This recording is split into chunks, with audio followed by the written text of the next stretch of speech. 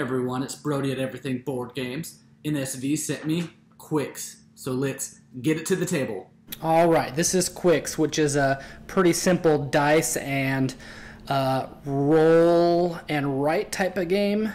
So everyone's going to take one of these pieces of paper, and you are trying to fill in from left to right at least five of these numbers until someone will lock it. That'll take that color die away, and you're to go and try to uh, get the most points. So the first player is to take all the dice and they're to roll them. And they will add the two white ones together and they will announce it for everyone. So three.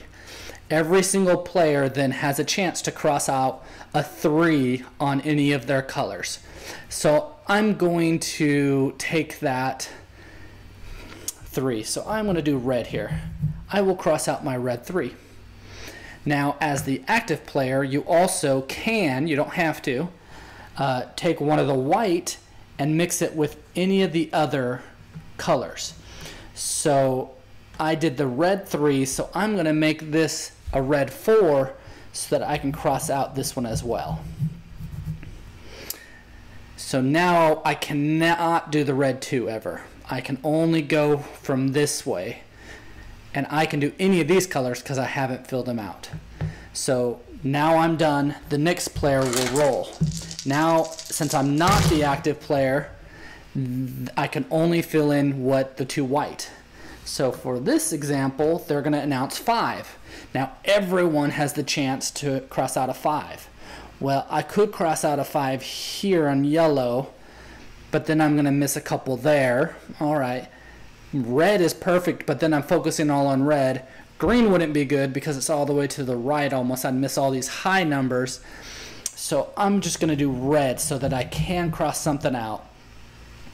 Then the active player, so not me right now, is going to take one of their numbers and say they have their yellow and they're going to do a 3 since it's here on the left anyways, you're going to keep on going around and rolling these dice just like this. Um, whenever you can't or don't want to, use what when it's just the whites or when you're adding it together on any of them when it's your turn then you are going to do a misthrow here. You're going to put an X here, which is negative five points at the end of the game.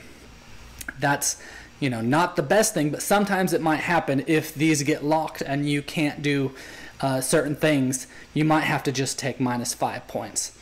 When you're not the active player, you're not obliged to have to take the white dice. So say it was six and I didn't want to do a six, I don't have to. There's no negative effects. You only get this negative effect when you're the active player. Now you're going to go through and whenever someone has five uh, marked off, at any time they can lock it. They probably want to collect as much as they can to get all the way to the far right number before they lock it because then they will get more points. As you see here, uh, right now I have three, that's six points right here for the red. But if I got a lot of these, I might be getting, you know, 55, 66, or even, well, I can't get all 12 because I didn't get the two. But I would be getting big points if I started marking all these off. So say I did that, I'm going to take off red. So this red dice is going to be taken away from the game, and you're just going to continue rolling with the colors that you have until all of them are going to be locked up you're going to add your score from for each of the colors from the points track right here. You're going to put them all right here. Any negative from any missed misthrows, and then you're going to get your total. Whoever has the most points will, of course, win the game.